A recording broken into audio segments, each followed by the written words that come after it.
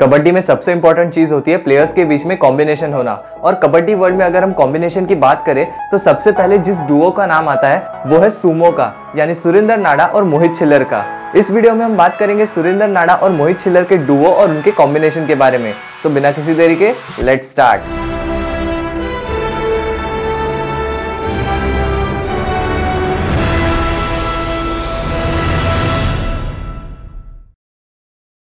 Pro kabaddi का पहला season 2014 में हुआ था और उससे पहले हुआ था एक ऑक्शन इस ऑक्शन ने सभी प्लेयर्स को अपनी डेब्यू टीम दी थी। नेशनल्स में मोहित छिल्लर का सबसे अच्छा परफॉर्मेंस रहा था। इसलिए यू मुंबा ने ऑक्शन में उसे अपनी टीम में ले लिया। हालाँकि सुरेंद्र नाडा उस वक्त ऑक्शन में नहीं था, वो तो बाद में मंगाया गया था। जैसे जैसे सीज़न वन चलता गया वैसे वैसे सुरेंद्र नाडा और मोहित छिल्लर की जोड़ी तगड़ी होती गई। सुरेंद्र नाडा को लोग एंकल होल्ड स्पेशलिस्ट के नाम से जानने लगे, लेकिन अनफॉर्चुनेटली सीज़न वन में यू मुंबा जीत नहीं पाई। लेकिन सुरेंदर मोहित की ये जोड़ी ने सबके मन में छाप छोड़ दी थी। सब समझ गए थे कि ये कॉम्बिनेशन बहुत खतरनाक होने वाला है। जब भी ये लोग डिफेंस करते हैं, तब एक को पहले से ही पता होता है कि दूसरा कब टैकल करेगा। दोनों इशारों में एक दूसरे से कम्युनिकेट करते हैं और रीडर को दबोच लेते हैं। इसका परफेक्ट एग्ज़ाम्पल हमें दिखाई दिया था सीज़न टू के फाइनल में। सीज़न वन की हार को पीछे छोड़ के यू मुंबा उसी टीम के साथ और नए जोश के साथ फिर से मैट पे उतरी थी। सारे टीम को हराते हराते यू मुंबा पहुँची फाइनल तक और वहाँ पर उनका इंतज़ार कर रही थी मंजीत छिल्लर की बेंगलुरु बुल्स बेंगलुरु बुल्स के स्टार रेडर थे अजय ठाकुर। लेकिन डिफेंस के तगड़े कॉम्बिनेशन से मोहित छिल्लर ने चेन टैकल कर करके अजय ठाकुर को खामोश रखा। इस मैच से हमें पता चला कि कबड्डी में कॉम्बिनेशन होना कितना ज़रूरी है।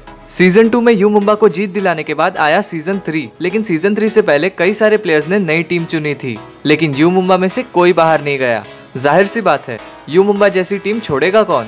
सीज़न टू की शुरुआत भी सुरिंदर और मोहित के कॉम्बिनेशन के साथ हुई थी। लेकिन यहाँ पर आया कहानी में एक ट्विस्ट लीग के दौरान एक मैच के वक्त सुरेंद्र नाडा और मोहित छिल्लर को एशियन गेम्स खेलने जाना था और इन दोनों की गैर मौजूदगी में यू मुंबा के सब्सटीट्यूट्स को मौका मिला अपना जलवा दिखाने का। उन्हीं सब्सटीट्यूट्स में से एक था फजल अतरा चली फजल अतरा चली ने मैट पे अपना कमाल का परफॉर्मेंस दिखा दिया।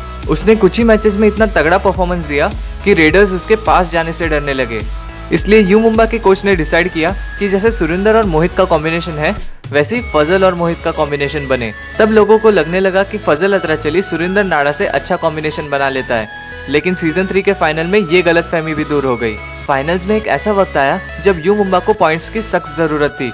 उस वक्त सुरेंद्र नाडा सब्सटीट्यूट करके अंदर आए और सुरेंद्र और मोहित सिर्फ़ दोनों ने मिलकर एक सुपर टैकल किया था। और सबको बता दिया था कि सुरेंद्र और मोहित जैसा कॉम्बिनेशन और कहीं देखने को नहीं मिलेगा। उसके बाद आता है सीज़न फोर लेकिन सीज़न फोर से पहले एक ऑप्शन होने वाला था। इस ऑप्शन से कई प्लेयर्स को नई नई टीमें मिली। इसलिए सीज़न फोर में सुरेंद्र नाडा और मोहित छिल्लर की जोड़ी हमें दिखाई दी बेंगलुरु बुल्स में। ये दोनों अपनी टीम के फ़र्स्ट प्रायोरिटी डिफेंडर्स थे। फिर उसके बाद आता है 2016 Kabaddi World Cup Pro Kabaddi League में एक एक टीम एक एक शहर को रिप्रेजेंट करती है, लेकिन वर्ल्ड कप में पूरे देश को रिप्रेजेंट करना था। वर्ल्ड कप की टीम में सुरेंद्र नाडा और मोहित छिल्लर दोनों सिलेक्ट हुए। लेकिन जब वर्ल्ड कप स्टार्ट हुआ, तब हमने देखा कि इंडिया अपने अलग अलग कॉम्बिनेशन आजमा रहा है। पहली मैच में हमने देखा कि मोहित छिलर और धर्मराज चेरलादन कॉर्नर संभाल रहे हैं और धीरे धीरे कॉम्बिनेशन बदलते बदलते आखिरी मैच में हम देखते हैं कि सुरेंद्र नाडा और संदीप नरवाल कॉर्नर संभाल रहे हैं। लेकिन यहाँ पर भी हिस्ट्री रिपीट हुई। फाइनल्स खेलते वक्त एक ऐसा वक्त आया जब भारत को पॉइंट्स की सख्त ज़रूरत थी। अब जैसे प्रो कबड्डी सीज़न थ्री में सुरेंद्र नाडा सब्सटीट्यूट करके आए थे वर्ल्ड कप में मोहित छिल्लर सब्सटीट्यूट करके अंदर आए और फिर से दोनों ने मिलकर एक सुपर टैकल किया। कसम से एपिक मोमेंट था वो। ईरान की टीम को हराकर इंडियन टीम ने वर्ल्ड कप हासिल किया और इंडिया का नाम रोशन किया। फिर आता है सीज़न फाइव का ऑप्शन सीज़न फाइव में चार नई टीमें आ रही थी और लकीली यहाँ पर भी ये डुओ अलग नहीं हुआ। सुरेंद्र नाडा और मोहित छिल्लर को लिया हरियाणा स्टीलर्स ने। इन दोनों के तगड़े कॉम्बिनेशन की वजह से ही हरियाणा स्टीलर्स अपने डेब्यू सीज़न में ही क्वालिफाई हो पाई।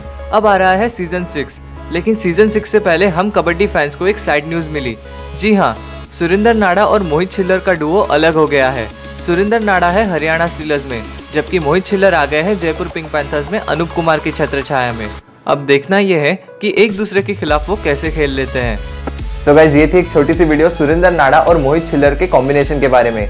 बेशक ये अब तक का सबसे तगड़ा कॉम्बिनेशन है, लेकिन अफसोस की सीज़न सिक्स में ये दोनों हमें अलग अलग टीम में नज़र आएँगे। अगर आप मुझसे सोशल मीडिया पे कनेक्ट होना चाहते हैं तो मुझे इंस्टाग्राम पे फॉलो ज़रूर करना। साथ ही में ऊपर दिए हुए आई बटन पे क्लिक करके आप लोग मुझे ज़रूर बताना कि सुरेंद्र नाडा और मोहित छिल्लर में से आपका फेवरेट कौन है। अगर ये वीडियो आपको अच्छा लगा तो प्लीज़ इसे लाइक कर देना। एम करते हैं 300 लाइक्स के लिए। साथ ही में फ्यूचर में और ऐसे वीडियोस देखने के लिए इस चैनल को सब्सक्राइब ज़रूर करना। मैं वेदांत वैद्य मिलता हूँ आपसे अगले वीडियो में। तब तक के लिए बाय बाय